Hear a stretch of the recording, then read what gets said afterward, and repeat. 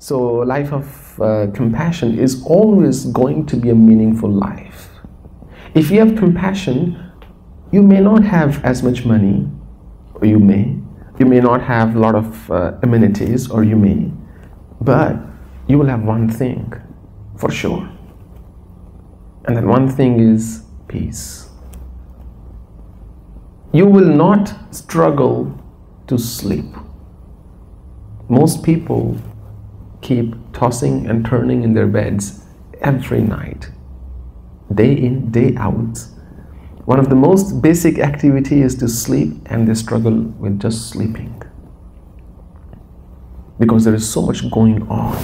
Mind is constantly racing in billion different directions, and that's because you have kept yourself so busy thinking about things that are absolutely irrelevant. And the funny thing is, most of the time, you're not thinking about future plans, you're thinking about other people. And mind has a natural tendency to gravitate towards negativity. If you sit in solitude, the first set of thoughts that will come to you will be negative thoughts. And you will recall all the bad moments, you will recall all the painful moments you've been through in your life, and that will trigger a whole set of negative emotions in you. And you might start to think bad about the other person that he or she did that to me, I deserved better. And that, that's the funny part. They're not even aware. They don't even know you are thinking about them. They don't even know you're, you know, even maybe swearing at them. They're not aware. But you are causing yourself much, much, much greater damage, which is totally unnecessary it's much better to pick up the phone and, and call the person and say, well, you know, this is what I'm thinking. I think you need to listen to me. or maybe just call a telephone company and, you know, say, today you have to listen to me. I listen to you all the time.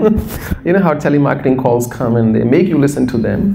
One day you call your company and say, look, I have nobody to talk to. I would like to, you to hear me out. it's basically don't keep it in you. That's what I mean. Either don't ponder over it because anything you hold in your mind for long enough will manifest in your life. Good or bad both. It's harder to hold positive things. And that's why most people struggle with manifesting positive things in their lives. And this leads me to the third point. How to be happy. Being happy in itself is the third action in the path to happiness. Happiness is a commitment it's not dependent on what you have and you haven't. It's simply, I am determined to be happy. This universe is uh, trillions of years old, maybe more than that, gazillions. This galaxy of ours is billions of years old. This planet is millions of years old. There are many, many species just as many millions year, million of years old. In all these trillions, billions, millions, and hundreds and thousands of years, the average lifespan of a human being is probably 70, 80, 85, 90, somewhere around, around that. And I have realized that the most foolish thing to do is to let this life slip by your hands. It should be lived because we don't know about the next life. Yes, I believe in rebirth because there is a yogic way of going back into your past life. But I'm saying you shouldn't believe what I believe in, you should believe what you believe in. Imagine there is no rebirth, imagine this is all there is. So, what you do, if living this life is a good thing, otherwise, whole life Chinta Till one's last breath, one is full of care and worries. I wish this was ha- this happened in my life. Well, whatever happened, happened. You tell me what do you want to do now with what you have now in your hands, this moment. We can't undo what happened, good or bad, right or wrong. It's it's done. Even if that person were to come and apologize, it may heal you to some degree, but it won't really fix your problem, will it? It can't undo the scar. So, you have a choice. You want to live in your past, or do you want to live in your present? Or you want to keep worrying about the future?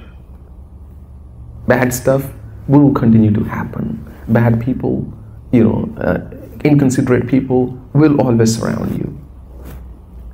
Because chances are maybe you were also in, in, inconsiderate to somebody else once. Maybe not as much. But nevertheless, this the sum total of all karma remains the same. Um, I'm reminded of a little story I wrote on my blog a long time ago.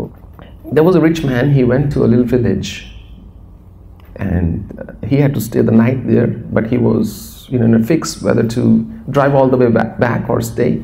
There was only one hotel, uh, a motel kind of thing in that village. So he goes there and he says, Do you have a room? And the hotel manager says, Well, we do. And he said, How much is it? It's $200. And he said, I'd like to see the room first. The manager says, Sure, you can see the room, but you have to give a deposit of $100 to see the room. If you don't like it, we give you the $100 back. He says, Sure, no problem. He takes a $100 bill, puts on the table, and the manager calls the bellboy and says, You know, please take him to the top floor and show him our room. So he goes, the manager goes running to the next door grocery store because he owed the grocery owner, uh, shopper, the shop owner, hundred dollars. He said, "Well, I owed you one hundred dollars, so here's your hundred dollar bill. Now I don't owe you anything." The grocery, the shopkeeper said, "Yes, we are even." But the shopkeeper owed a farmer hundred dollars because he had gone gotten some stuff from him. He goes running to the farmer and says, "Well, here's your hundred dollars. It, it's been weighing on my head for, for many many months now. I'm so glad to be debt free.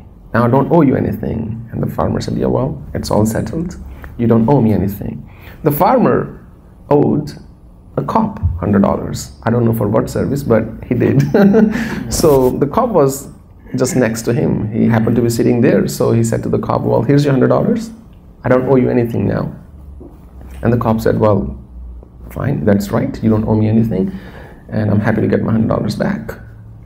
The cop owed a prostitute $100. So he runs to the prostitute and says, Well, here's your $100 um, I'm sorry it took me many months. And she says, Well, thank you. You're a good client. And she takes $100 and she owed the hotel $100. She goes to the hotel manager. She said, Well, I owe you $100. Here's your 100 bucks. So I don't owe you anything now. And the manager says, Well, that's true. You don't owe me anything now. In the meantime, this rich man comes down and says, Well, you know what? I, I'm going to pass. I didn't like the room. I think I'll drive back. He said, No problem, here's your $100. And he gives the 100 bucks back, and um, the man drives off. And everybody becomes debt free in that village. even, though, even though nothing really happened, nobody gained, and nobody lost. But everybody became debt free suddenly. Everybody slept really well. I don't owe anybody anything. The karmic transactions work exactly like that like that scene in this village. The sum total is zero. The balance sheet always matches at the end of the year. So, all these things that we think people are doing to us, most of the time it's complete nonsense because nobody is doing anything to you. And nobody can do anything to you, in fact. And even if you look at it spiritually, you're not just the body, if you if your truth was the body alone, body will never decompose. Something is in the body that leaves, and the doctors say, "Well, this person's dead." You know, we say somebody's X, you know, this person X is dead, bury him or burn him or cremate him or whatever. But you're not really just the body. But this identification with the body, that I am the body, I'm the body, I'm the body, makes you feel you're the body. So anything body goes through any problem, we think, oh, it's a big problem.